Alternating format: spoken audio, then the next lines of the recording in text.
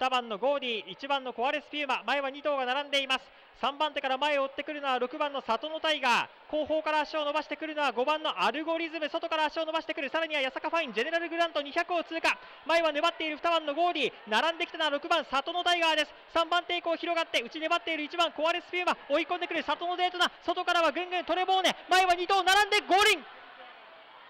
2頭接戦です。前回からまあ乗せていただいて前回は不甲斐ないレースだったんで、まあ、今回それをしっかりつなげれてあの結果として出せたことは嬉しいなと思います。ゴールした時勝ったと思われましたか？ちょ勝ったと思ったんですけど上がってきてから写真判定がすごく長かったんであれ？と思いながらちょっと写真判定にはちょっとねあのトラウマがあるんで なんとか勝ってくれてよかったですね。理想的なレース展開になってくれたし、まあ、ゴーディをしっかり見れてあの抜け出したところをね僕も合わせていけたんであの、まあ、向こうも本当にしぶとくねあの粘ってたんであの最後まで本当気が抜けなかったんですけどあのしっかりとあの反応してあのかかわしきってくれたんでよかったなと思います。こう1002でどういう競馬になるかなと思ったんですけど本当に手応えよくねずっと終始回ってくれたんであの、まあ、前回の本当ちょっと果敢にいった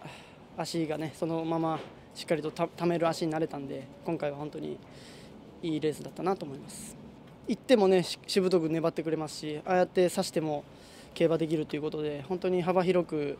マイルからね本当短いところまで行ける馬なんですごい馬だなと思いますね。こう一戦級が揃ってきた時にどうまたサポートしてあげるか、まあ、乗役の本当あの技術が問われると思うんでまた乗る機会がある時はしっかりとサポートしてあのエスコートししていけたらなと思います。こうしてまた有力馬にねあの乗せていただけることに本当に感謝してねあのしっかりと結果を出していきたいなと思いますし応援してくれるファンの皆様にもね本当に感謝しています。